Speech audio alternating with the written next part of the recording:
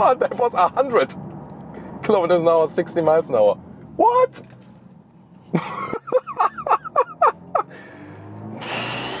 this is a driving review of the BMW i4 as the sporty M50. Here with Thomas and Autogefühl, let's go. Mid-size segment, but the BMW i4 is not an electrified 3 Series, platform-wise yes, but it's more like an electrified BMW 4 Series Gran Coupe. Soon more to that. Here in the front we can already see a huge double kidney right there, but it's closed. Has this M badge right here because this is the sporty M50 version. There are also base versions available. Then in the blue accentuations here around the logo, signaling the electric lineup and the color here for today, a true Thomas blue. This is Portimao blue, but in the matte styling.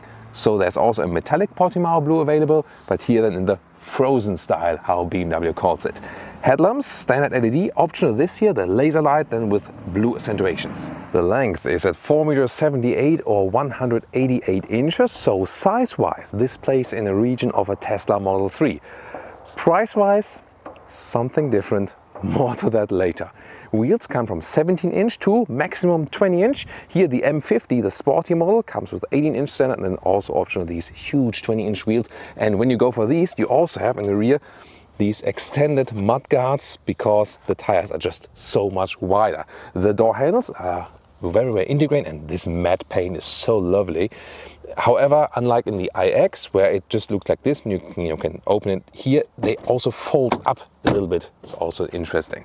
Then you also have some wind efficiency gains here from the side mirrors and this is also then with this shadow line that you have it in a black contrast. Overall very cool and elegant styling and indeed is more like a 4 Series Gran Coupe because it also has the fastback opening, soon more to that. And suspension wise, this is really interesting, it automatically gets air suspension in the rear. But the dampers, nor front nor rear, are not adaptive. Optionally, you can get an adaptive suspension. It's called adaptive M suspension. That one is also standard and in the M50, but then also with an even stiffer setup here. Looking really forward to drive this one. Why didn't they go for air suspension in the front as well? They say they want a more direct contact to the road and this platform here actually does not allow uh, air suspension on the front axle just from the building space and they also want it to be a little bit more precise when turning in and turning out so that it doesn't you know change the weight of the car in the front too much. With the electric vehicles there will be no differentiation between M performance models and true M models. It's just the M models.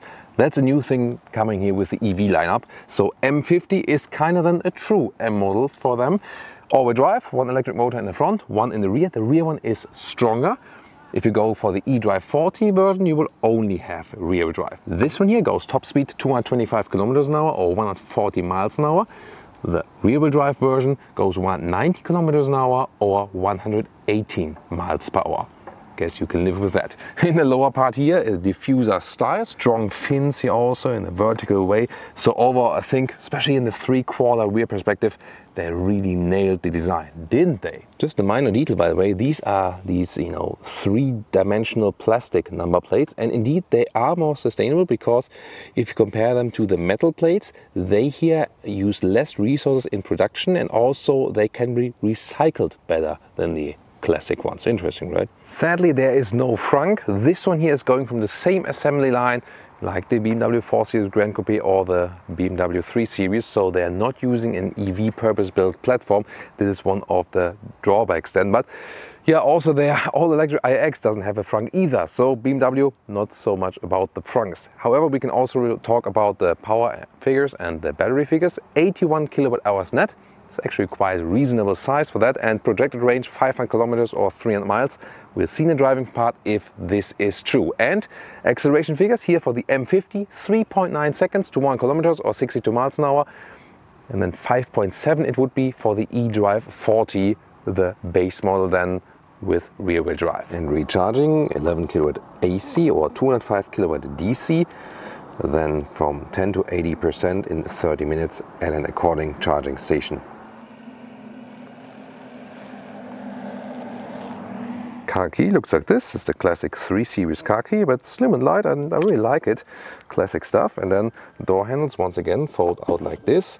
What about the door closing sound? It's frameless though, and Yeah, here the door closing sound is really bad actually. Nice, however, the interior build quality, soft touch here, and also how the handles are being, you know, formed out. So Hofmeister kink design clue for the inside.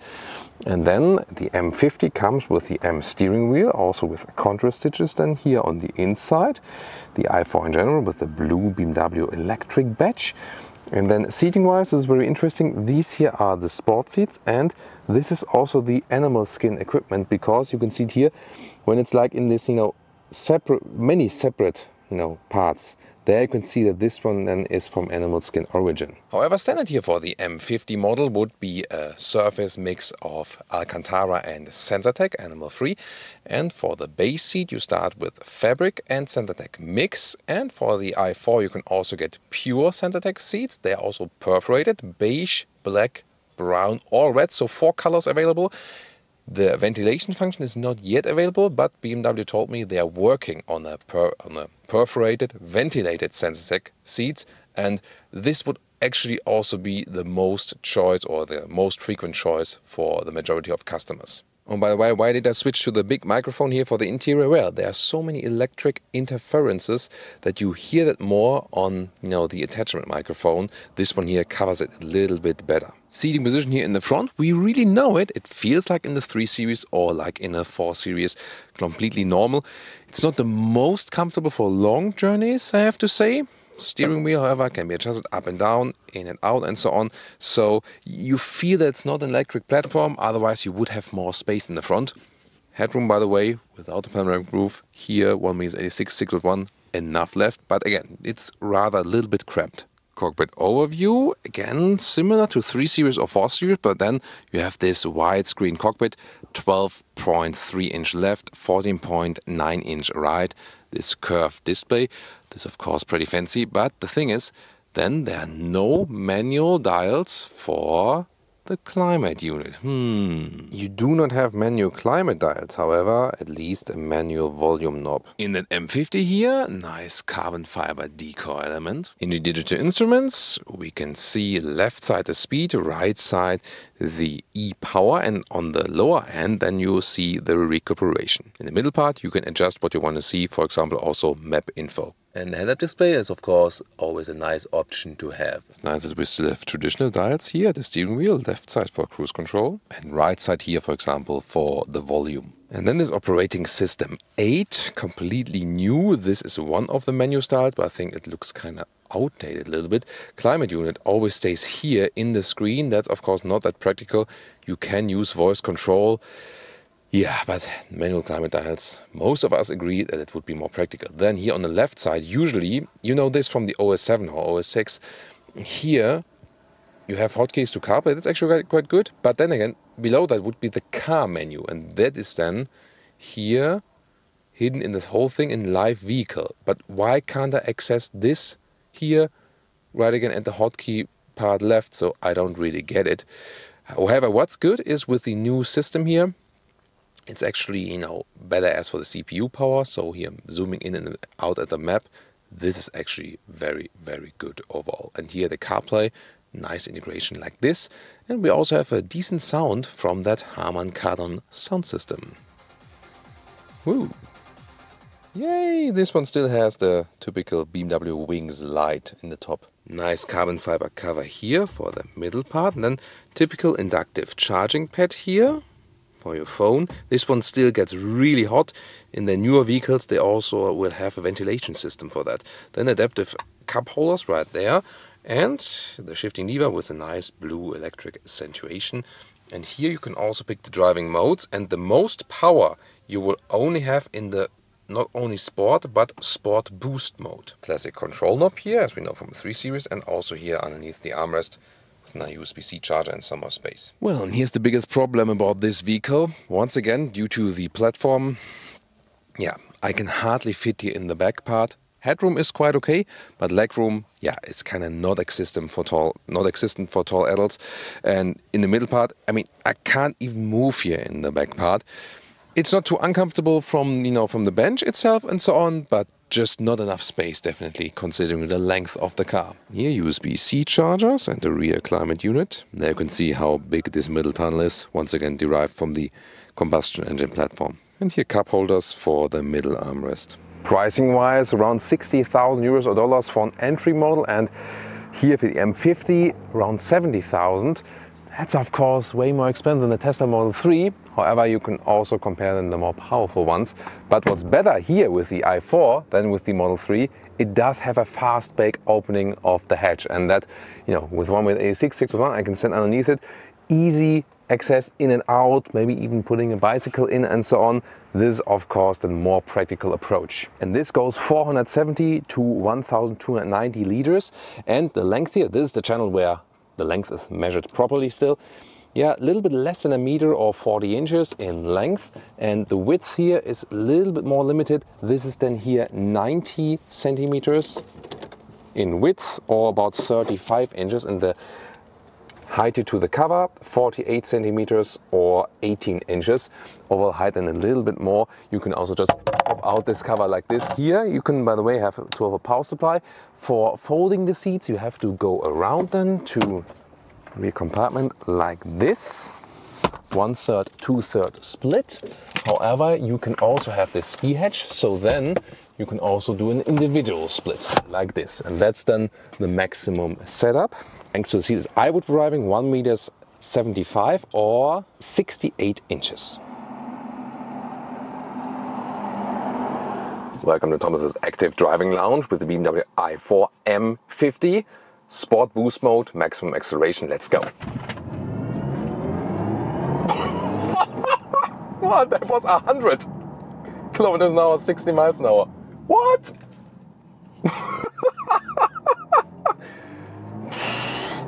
Holy moly. I mean, yeah, it was slide a little bit downhill that part, but what the hell? You also heard this uh, sound theme they have installed here, cooperation by Hans Zimmer. Whew, and uh, if you compare it, um, yeah, I mean, to something we heard before, Porsche Taycan or something, Audi e-tron GT. Um, it's not the you know strongest or harshest sound. It's still somewhat subtle, but definitely here in the sport boost mode, the strongest one. One more time where I can see the speed because of the different camera mount. Let's go.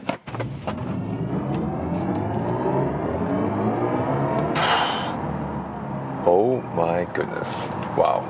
This is really something. But the steering feeling, especially while accelerating, is very unusual BMW it kind of even feels out of control a little bit. Hmm. Not too happy with that actually.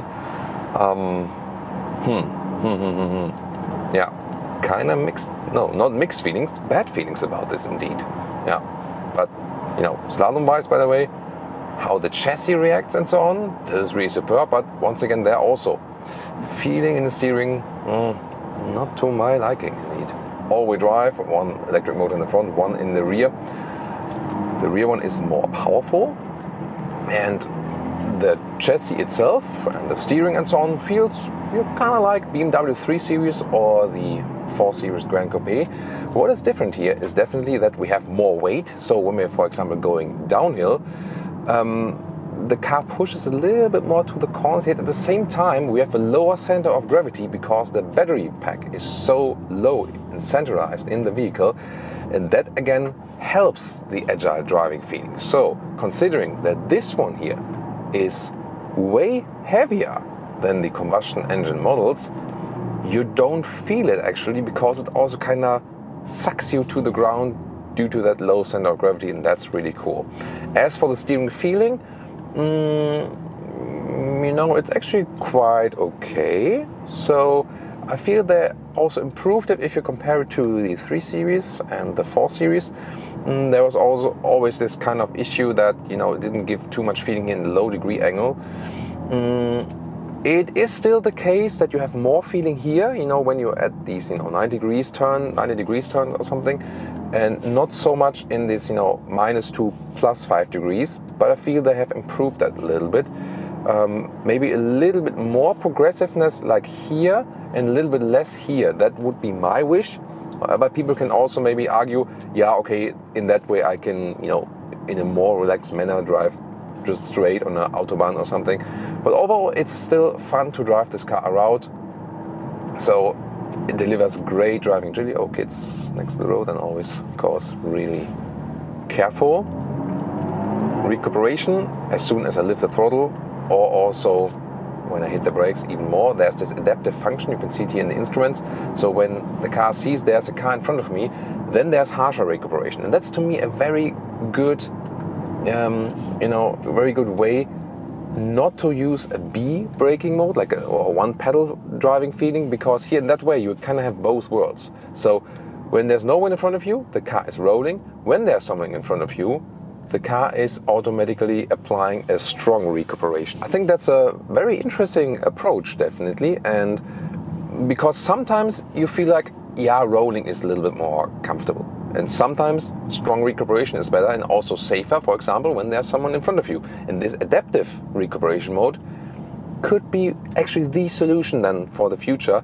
So there's an also a better transition for people from ICE cars that they don't have this one pedal driving feeling at once. Um, so yeah, I think that that is really something very interesting approach they found here for the regenerative braking. Oh, what's what's your take on that? And now that boost uphill. Wow, that sound experience definitely enhances the acceleration experience, definitely. And the thing that's really interesting, so uh, when you have that boost, um, the steering gets super light, and that is a little bit, um, yeah, I'm not sure. Is it because the car really literally lifts from the ground or something? Um, but that's definitely a little bit irritating. Um, yeah, to me, overall the steering is a little bit too light, and I think definitely, um, especially if you go from a, um, you know in a, in a, in a sports mode, it should actually be heavier. By the way, here at 70 kilometers an hour, noise insulation is really great, so it's a very silent atmosphere here. Especially when you, for example, go back to a comfort mode and then you don't have this sound feedback and, and so on. So um, you can also use it as a cruiser and be like really, really calm. And the thing is really, since it's not on this EV platform, you know, for usage of space, that's negative, definitely. If you, however, seek a good transition from an IF, from a combustion engine vehicle to an electric vehicle, this might be something because, again, this car does not feel too different from a 3 Series or from a 4 Series, yet at the same time you have the electric boost and you still have a great handling really because of the low center of gravity. So it's a lot of fun to drive this one. Overall, it feels really crisp. It, yeah, I mean, it rather feels a little bit like the mm, I would say, um, you know, M performance model, 3 Series or 4 Series, like um, the 340i models. This one would be, I think, um, the best in comparison. The true M models combustion engine are a little bit stiffer as for suspension and so on. This suspension here, the M adaptive suspension, is tuned on a little stiffer note than it would be if you go for that adaptive option with the normal suspension. Mm, but I think it still represents a quite nice compromise. By the way, even in the comfort mode here, you also have enough power. For example, here overtaking maneuver of this tractor. Yeah, so that was also 50 to 100, easily done. But really, the feeling in the steering wheel is not adequate to the vehicle.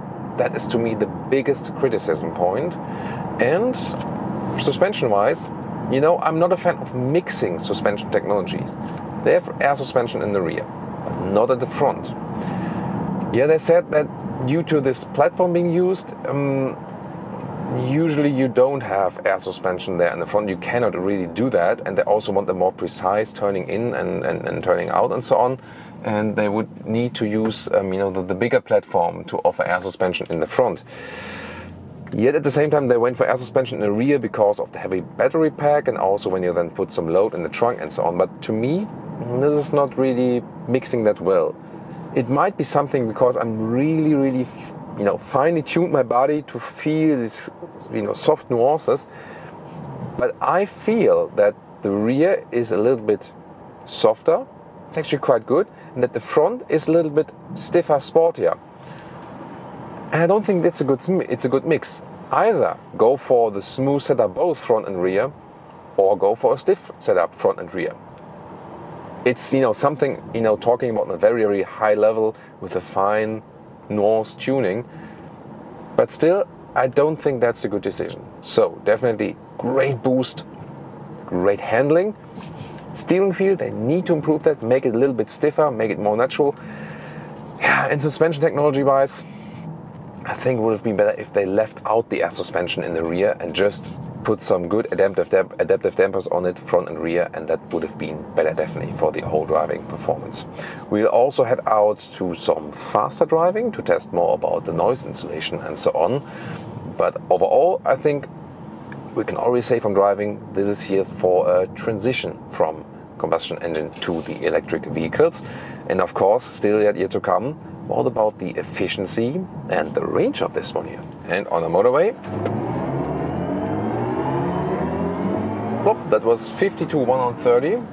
Wow, that goes so quick. It's really astonishing. Wow.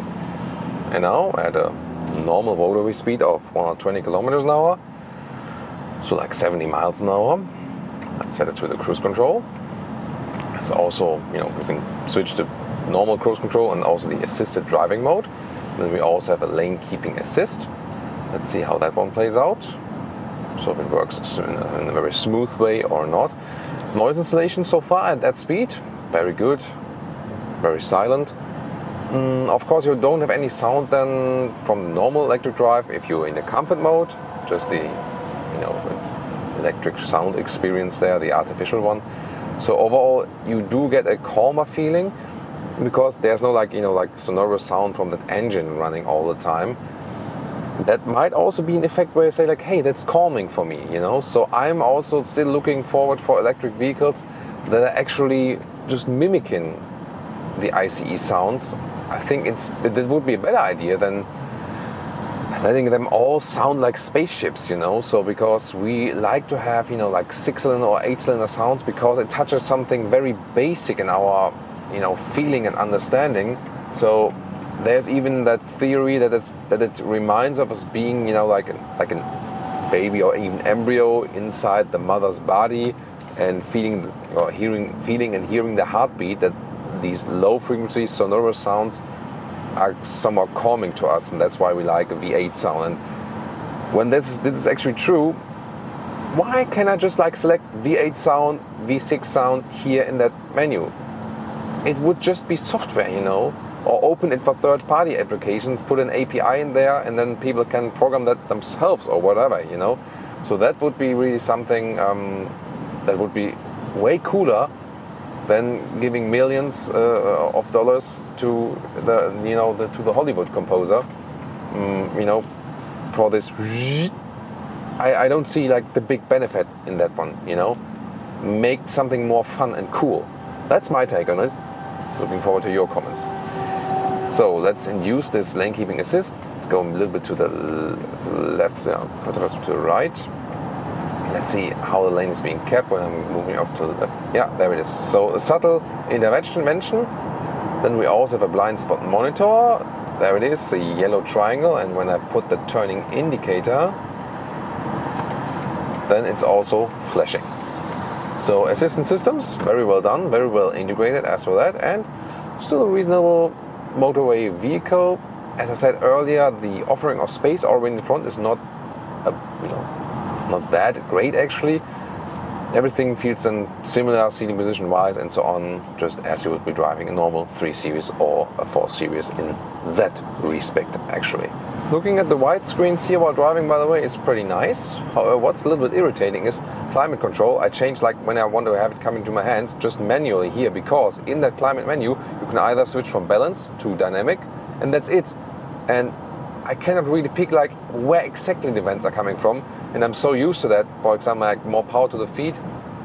Or, or didn't, or maybe I didn't find it or something, but then it takes too long to find it. So, uh, yeah, making things more complicated once again with these new software iterations. And now let's go once again to the sport boost mode because 130 kilometers an hour to let's see whatever.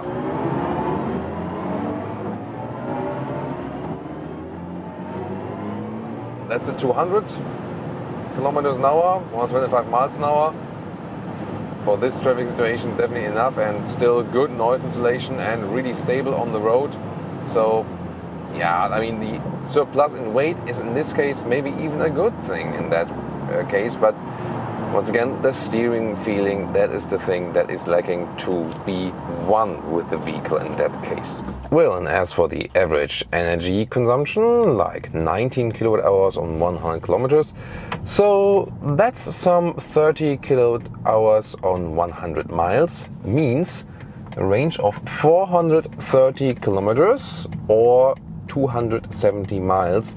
That is not as much as promised, but still you know, somewhat decent result considering it's not an all EV platform. Well, it was critical with some aspects, but nevertheless, the rigidity of the chassis and the driving dynamics and the overall fun and also calmness on the road with this vehicle is excellent, just as we know from the 3 Series or 4 Series Gran Coupe. So there's no denying the fact that they're still ahead in these hardware issues if you also compare Tesla, which then, you know, has some other advantages. You can check them out, Tesla Model 3 versus Polestar 2, our review. And of course, also maybe, yeah, Porsche Taycan rear-wheel drive. That might also be a competitor here, especially of the M50. See at these videos.